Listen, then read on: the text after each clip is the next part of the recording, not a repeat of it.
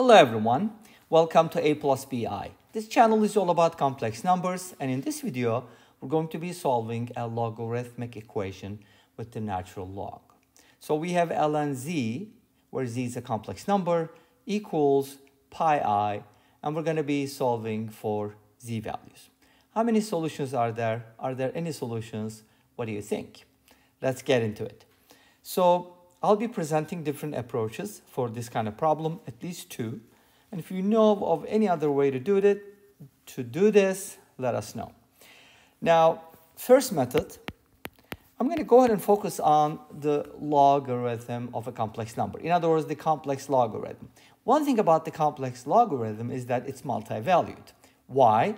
Because when you have a complex number like z equals r times e to the i theta, then its logarithm, by the way, some books use log for logarithm, but I also found some resources that use ln even for a complex logarithm. So that's perfectly fine. It's not the majority, but I go with ln because I don't write writing log for um, natural log, okay? Anyways, so the log of a complex number or the complex logarithm is basically defined as follows.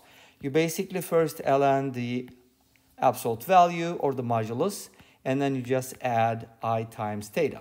The reason why this is multi-valued is because of theta for every choice of theta. What I mean by that is you could always replace theta with theta plus 2 pi n, and n is an integer, so you're basically allowed to add multiples of 2 pi. And that gives us multiple values, right? But of course, to agree on a singular value, you can talk about the principal uh, argument or the principal value of the argument. Okay, so let's go ahead and compare this to what we have. And then hopefully from there, we're going to be able to find a solution. And remember, our goal is to solve for z. And z is a complex number. By the way, if you're new to complex numbers, go ahead and check out my lecture videos. I made a bunch of videos for basics of complex numbers. And if you like algebra, number theory, and trigonometry problems, go ahead and check out SyberMath. That is cyber with an S. And let us know what you think. So let's go ahead and take this right-hand side, set it equal to pi i, because that's what ln z is. ln r plus i theta equals i pi. So basically, one thing to remember though, r is a real number. It's greater than 0, right? It, because if r is 0, then ln r is not defined. So we want r to be positive in this case. And ln r is a real valued logarithm. So it's not multi-valued. It has a single particular value. So that means on the left-hand side, we have a complex number with a real part and an imaginary part. So remember, or if you uh, didn't know, you can also write a complex number that is a plus bi, where a and b are real numbers, and i is the square root of negative 1, or i squared equals negative 1 is another way to approach it. So here, I kind of do see the i plus bi. This is my a, this is my b. You got it? a plus bi. But on the right-hand side, I only see i pi or pi i, which is a complex number with zero real part because a is considered the real part which we can also write as real part of z and b is called the imaginary im is used for the imaginary part. Notice that imaginary part doesn't contain i it's just the real coefficient okay? So what is that supposed to mean then? Well we have a complex number on the left and on the right. In order for them to be equal the real parts have to be equal and imaginary parts have to be equal. In other words, here we have ln r. On the right-hand side, no real part, which is 0. Because i pi can be written as 0 plus i pi if you wanted to write it in the standard form. You could even write 0 plus pi i if you want the same thing, by the way, just to make it look more like a plus bi. Make sense? So now we know that ln is 0 from real parts. Imaginary parts, the theta is supposed to equal pi, which is really cool. You know why? Because it gives you the theta right away. Wait a minute, weren't you saying something like multi-valued?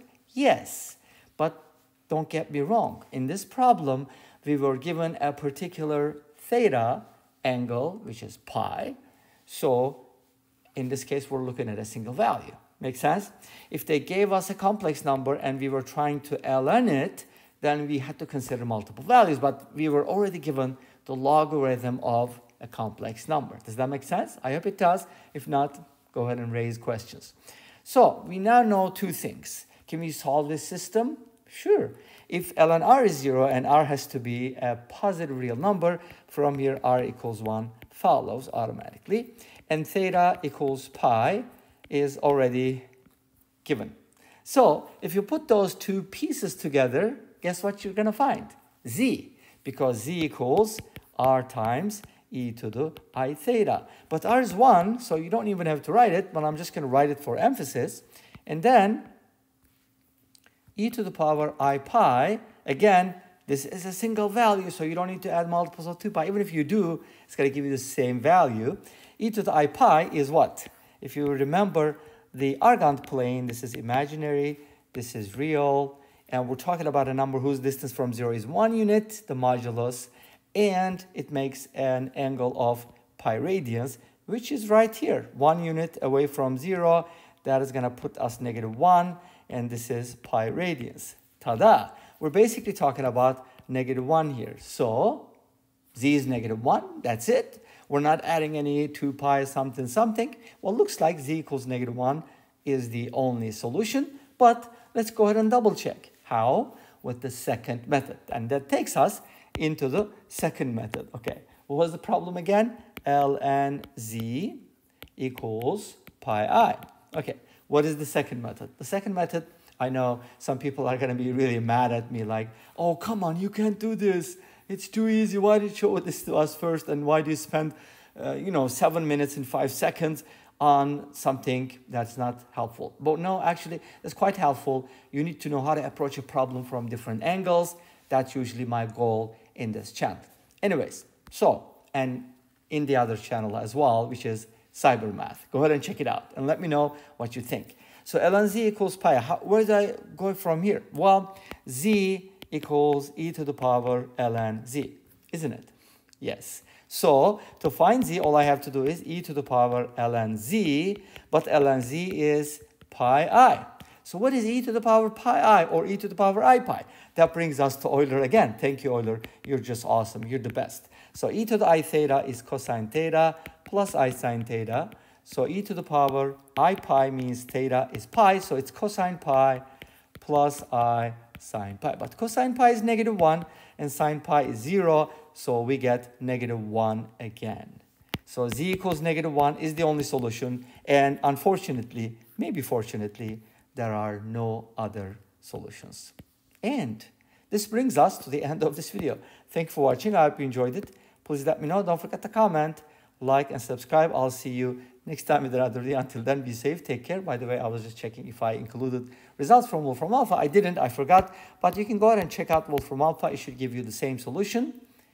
And don't forget to check out SyberMath and A plus BI. And bye-bye.